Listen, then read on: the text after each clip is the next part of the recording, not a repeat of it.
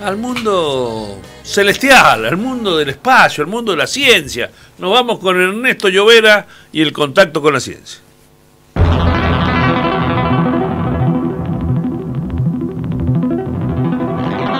Muy buenos días Sergio, buenos días Roberto, buenos días a la audiencia de la red de medios. Estamos acá en esta columna científica acompañados por el doctor Hugo Levato, doctor en astronomía, exdirector del Complejo Astronómico Leoncito. Y la intención hoy es hablar sobre lo que se está investigando y descubriendo en Marte cuánto hay para investigar en Marte, ¿no? que es el objetivo que se tiene de llegar algún día, algunos dicen a corto plazo, otro un poquito más allá en el tiempo, con alguna colonia, con eh, seres humanos que puedan instalarse allí, previo paso por la Luna, bueno, todo esto es un gran proyecto. Eh, doctor Rebato, ¿cómo le va? Eh, ¿Qué tal? ¿Cómo está, Ernesto? Se ha identificado una capa fundida que cubre el núcleo de Marte, es un hallazgo como una especie de manto líquido alrededor del núcleo metálico del planeta rojo, que sugiere la necesidad de influencias externas para la generación de su antiguo campo magnético. ¿no? Generalmente, cuando decimos Marte, nos imaginamos un paisaje desértico, árido, como son las fotografías, teñidos de un color rojo. Pero un nuevo estudio, publicado en Nature ahora, revela una dimensión completamente diferente del planeta, porque estamos entrando a las entrañas del planeta. Sí, el tema es los sismógrafos. Otro, otro, otro toque tecnológico que hace que la ciencia progrese. Eh, detrás siempre de todo este tipo de cosas hay un conjunto de ingenieros electrónicos, este, computacionales, que desarrollan un instrumento adecuado para obtener datos en una situación, en un medio complejo como el de Marte. Estos sismógrafos han, permite el sismógrafo estudiar el interior de Marte. Lo primero que se descubre es que el núcleo de Marte es más pequeño de lo que se pensaba eh, originalmente y es de hierro líquido. En realidad el núcleo es de hierro líquido y tiene una eh, corteza que lo envuelve, em, una corteza eh, aproximadamente 150 kilómetros de espesor, que tiene silicatos que tiene silicatos. Aparentemente eh, tiene una envoltura de algunos elementos radioactivos, como el caso del uranio, que producen como si fuera un manto que mantiene el calor del núcleo. Pero a su vez, esa radiación que, que tienen debido a esos elementos radioactivos ese, ese manto alrededor del núcleo, ha hecho que Marte carezca de un campo magnético importante como tiene la Tierra. Eso es fundamental, ¿no? Porque si tuviese un campo magnético como lo tenemos en la Tierra, otra será la historia. Claro, eh, totalmente.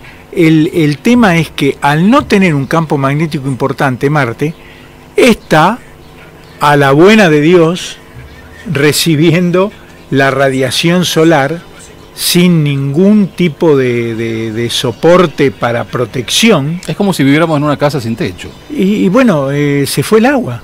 Es decir, los, los se evaporó, se evaporó los investigadores que, que tratan el tema consideran que este puede haber sido el mecanismo por el cual Marte perdió el agua.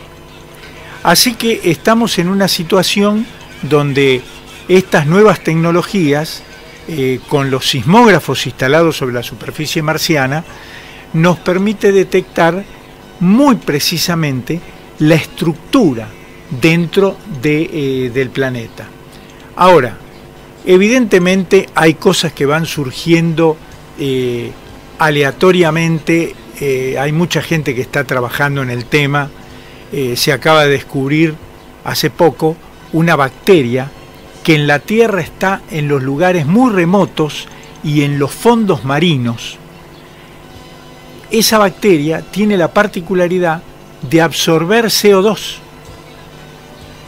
y por cada gramo de CO2 que absorbe produce 4 décimos de gramo, 0,4 gramos, de oxígeno.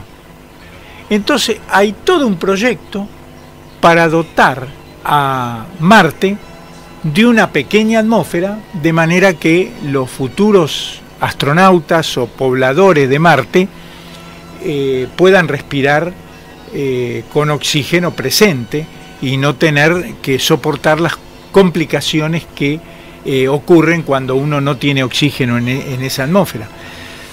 Así que este, Marte está en pleno, en pleno desarrollo eh, las investigaciones de Marte están en pleno desarrollo, se están descubriendo cosas todos los días.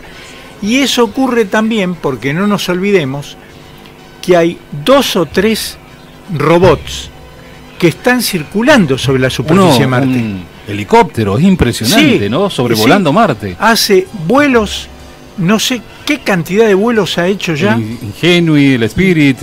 Y, ha, ha funcionado perfectamente y estos robots están recorriendo Marte, se mueven lentamente, no tienen la velocidad de un automóvil sobre la superficie terrestre, pero están mandando datos las 24 horas del día. Impresionante.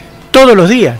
Y algunos metros eh, de la superficie, lo cual da otra perspectiva. Hacen excavaciones, meten el material que sacan dentro de pequeños laboratorios que están en, la, en el mismo robot y eso manda los datos a los laboratorios terrestres eh, que reciben la información.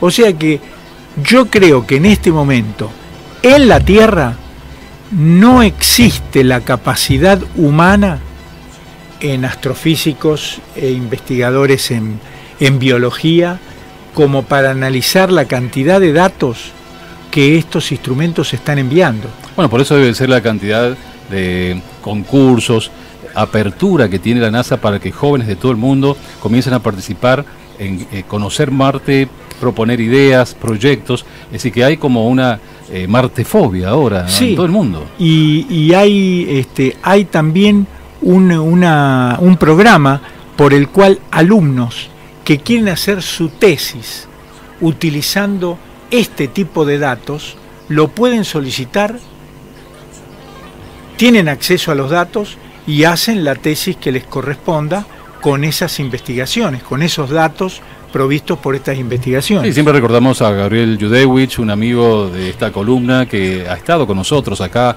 en varias oportunidades, un entusiasta realmente que está próximo a recibirse de biólogo y ha elegido la astrobiología para continuar. Y ya le ha publicado la NASA algunas ideas, porque eso es, doctor Levato, las ideas de jóvenes sobre todo para el espacio, para Marte en este caso, los proyectos, ideas. Sí, lamentablemente ocurre que esas ideas son tomadas por los países de punta que utilizan los conocimientos de personas que nosotros formamos y que gastamos mucho dinero universitario se lo llevan. para formación y se lo llevan.